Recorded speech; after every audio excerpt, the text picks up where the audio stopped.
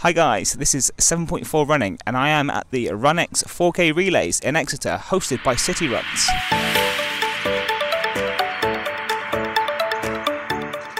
Tonight there's a record 85 teams entered in the event but I'm going to be focusing on my own club tonight which is Greenbow Running Club of Exeter.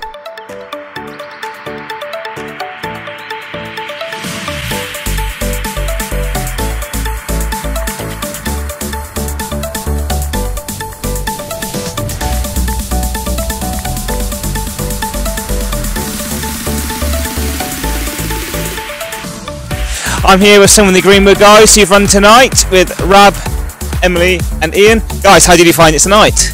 Uh, it's a difficult distance to run, but 4K done. I reckon I smashed it. It was all right. It was all right. It's a bit wet. Hard work. Struggling breathing. Anybody get a personal best out there for a full 4K or fastest mile? Anyone? I don't know if I did, but I know that Ian did. Yeah, I got my fastest mile tonight. Sort of shaved 40 Nice. seconds off it. Well done, Ian. Good work. Delightful. Next year we'll be back. Bigger team next year. Yeah, we need more members. I'm here now with Greenbow's Martin. Martin, how did you find that one tonight? Well, uh, I went off way too fast as usual, but just when you start to calm down, everyone cheers you on. You keep up the rhythm, and then you see everyone again. So it's a it's a good route for keeping it going.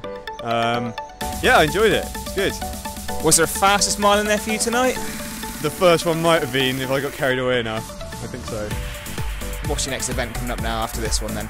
I'm doing the Plymouth Half Marathon this Sunday, um, which is the one I've really been preparing for. So this should be a good warm up today. As long as I get plenty of rest and plenty of pasta tomorrow, should be a good one. Brilliant. Thanks a lot, Martin, and we're going to get out of the rain now. Let's go.